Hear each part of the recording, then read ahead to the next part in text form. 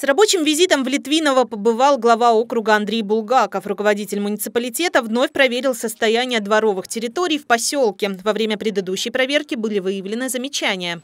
Теперь же они устранены. В частности, на детской площадке во дворе дома номер 14 отремонтированы и покрашены элементы. Приведена в порядок и спортивная площадка. Здесь появились дополнительные фонари освещения. В соседнем дворе, расположенном между домами номер 4 и 11, глава обратил внимание на необходимость должным образом покосить траву.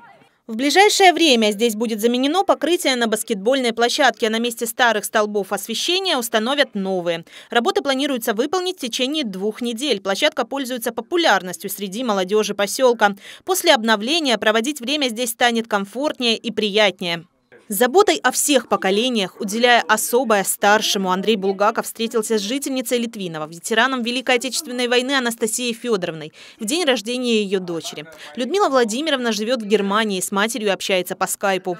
В теплой атмосфере, в праздничный для семьи день Анастасия Федоровна поделилась историями из жизни. Всю войну хрупкая, но сильная духом женщина проработала санитаркой. Лишь в 46-м вернулась на родину из Восточной Пруссии.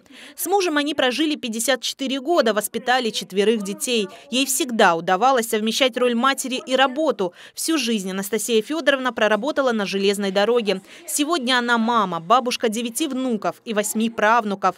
Женщина – пример и гордость для всех жителей поселка, округа в целом, всех нынешних и последующих поколений.